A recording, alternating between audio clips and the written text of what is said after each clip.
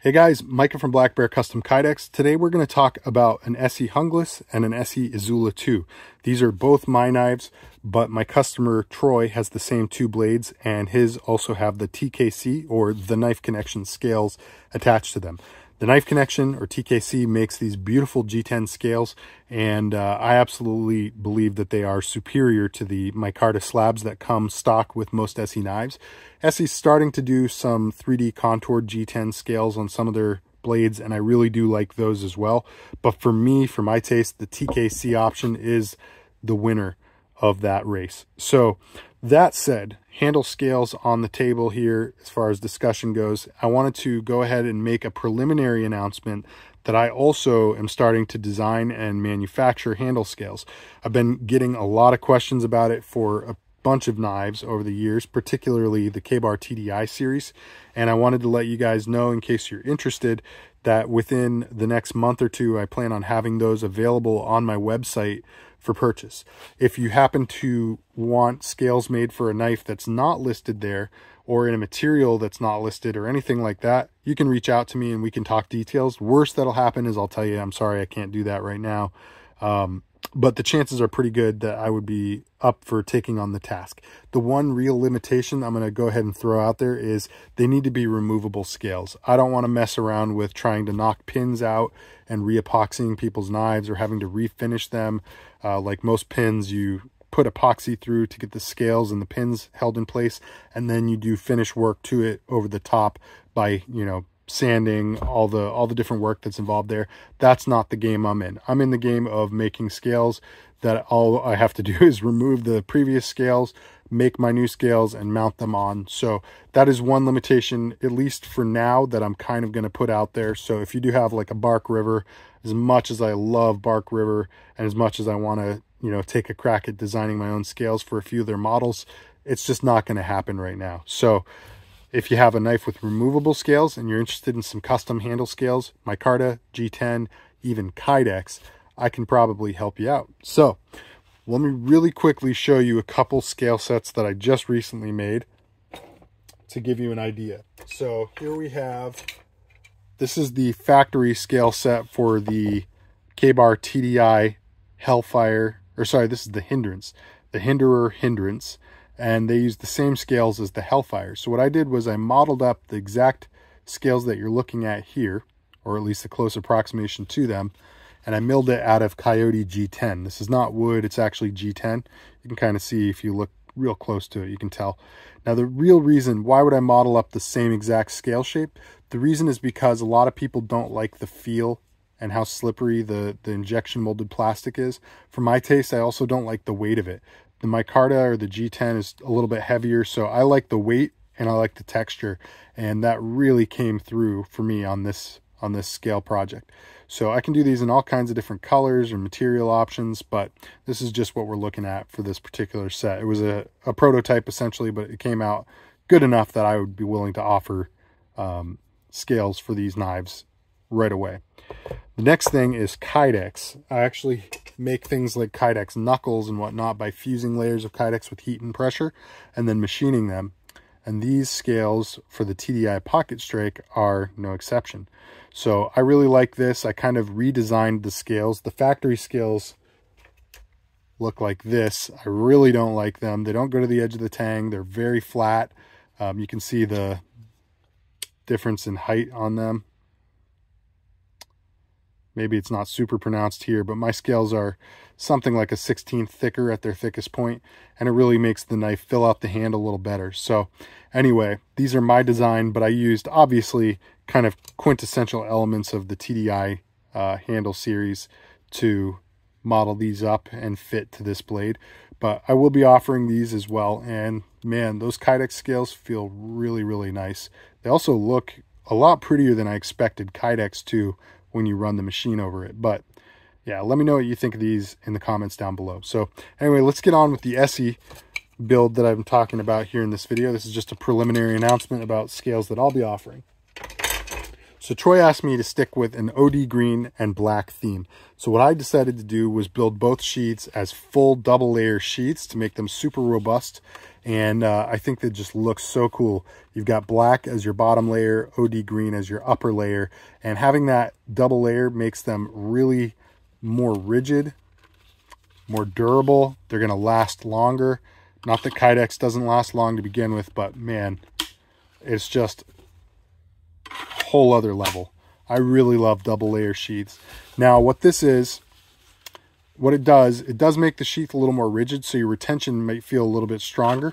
The retention on these guys is really, really strong, but even though there's no rattle, no play, and it feels like a lot of retention, if you were just to grab the handle and do a grip it and rip it style draw, it does feel difficult to draw out.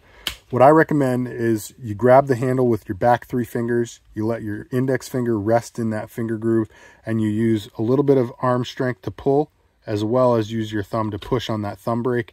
And it, I promise you, it's a really smooth, easy draw. Very controlled, very comfortable. And man, it feels nice. As for accessories on here, we are looking at a half inch ferro rod now, what you're going to do is whittle your rod down so it's going to get loose. So I'm going to provide a one foot length of shock cord. And Troy, what you want to do is get your lanyard hole about flush with the edge of the, the ferro rod sleeve. Tie a single overhand knot about halfway to two thirds of the way down the length of the holder. And then you'll have to stretch that knot out around the tip of your rod. And what it's going to do is create inward pressure from both angles holding your rod snug in there. Even after it's whittled down, it's going to be nice and snug, and it shouldn't have very much rattle, even when the tip is super small on the uh, ferro rod. Down here, we have an ESEE tin. This is a great tin option. Altoids tins and ESEE tins are my go-to. Uh, there are plenty of other options out there, including plenty of like Chinese unbranded. Um, but I would recommend carrying a tin on a sheath to most people that are going to be doing a lot of bushcraft stuff. It just has no limit to like what kinds of things. Well, I guess there are limits, obviously, based on the size, but there's just tons of options for what you can pack in. There's a lot of good videos on putting together a survival tin. There was like a big survival tin challenge a few years ago that people were doing, and I think it's awesome. You can pack mylar blankets, you can pack tinder, you can pack fishing kits, things like that. It's just great, great way to get some extra gear on your setup. Now we have a few carry setups in tow here. First and foremost, we see the molly locks.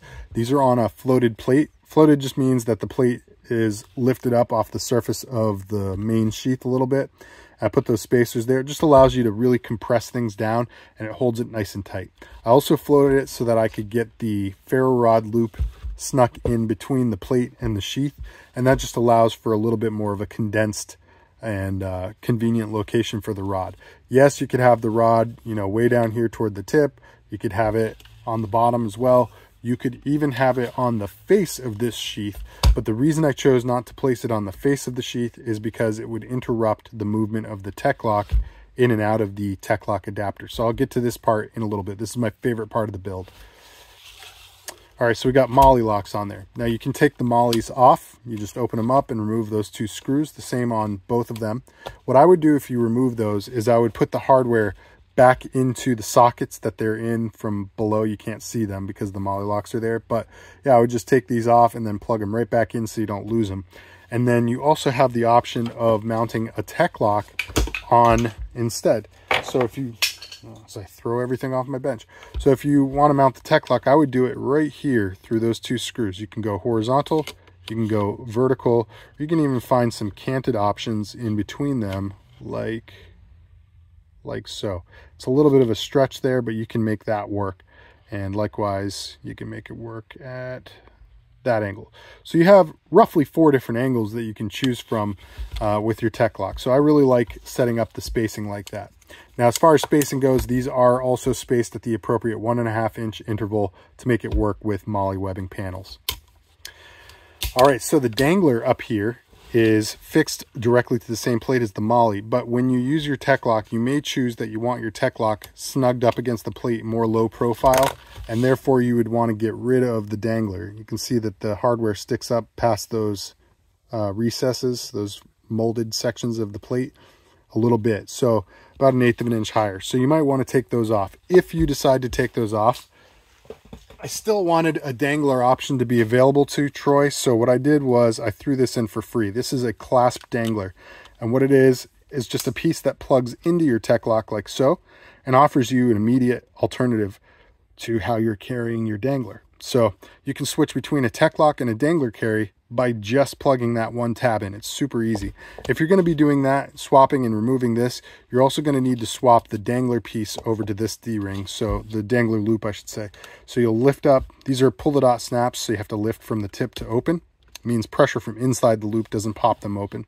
And then you just remove those two Phillips head screws and rethread it on in the same way onto this dangler loop. Very easy, very simple, only takes a couple minutes to swap those out. Pull the dot snaps likewise need to be rolled toward the tip to close them. So just make sure you've got good closure. If it's partially closed, they can still pop open, but you'll feel it when it's nice and flat, you know it's closed. Usually you'll hear them snap shut as well. We also have a leg strap down here. Now when you add a leg strap to a dangler, it's called a drop leg rig. When you're gonna carry a large or a heavy knife on your belt, I recommend a drop leg. And the reason is because it keeps the whole sheath in line with your thigh. And that means basically that as you walk, you're not going to have the sheath swinging on its own. It's going to move with your body and you'll feel that as a lot more comfortable than, you know, swinging your leg forward and feeling your sheath pull backward. You can feel that little tug on your hips and it's not like it's like painful or, or difficult or anything like that, but it adds up over time. And it, to me, it's just more annoying than anything. So I like bolting things down and having them nice and tight to my leg. We also have one other carry setup, and uh, it is my second favorite way to carry large blades. My first favorite is a Baldric system, which is a two-point rifle sling, essentially. Second favorite way is a chest harness. Now the new chest harness that I've been offering for the past, I want to say about six months now, is called the Universal four point chest harness. It is the system that I'm going with now. I've swapped away from doing three point harnesses because you get more, or uh, sorry, you get less pressure against your body per strap with four point, which I like. But more importantly, it also allows you to carry this plate level and set the tension on it just one time. And then from there, you can just mount your your uh, your sheath, your holster, whatever it is to the plate at virtually any angle. So it's very, very versatile and it's a lot more comfortable than the previous setup. The other advantage is you just adjust the webbing one time so that the plate is where you want it and then you mount to the plate versus a three-point harness attached directly to the sheath where if you needed to adjust anything about the angle, the ride height, the side, you would need to reattach the webbing. You would need to then adjust the webbing in you know, for each one to make sure it stays at the position it's meant to carry at. And oftentimes, even when it's in that position, when you start to move around, it wants to shift, it wants to flex, it wants to droop, whatever it is. This is just the solution to all those problems at the same time. I also decided to go with black and OD just because I thought that looked super cool with the sheath. I like that color combo so much. So anyway, there we go. Now the last thing I want to show you, my favorite part of the build is the Izula 2 riding on a Tek-Lok. And this apparatus here, which is a Universal Tek-Lok Adapter, UTA is the abbreviation. Um, this is something I invented several years ago when a customer asked me, hey, can is there any way to make it so that the small sheath has a carry setup attached as well? Now, this was the first time in the Kydex world, I believe, that it was ever done.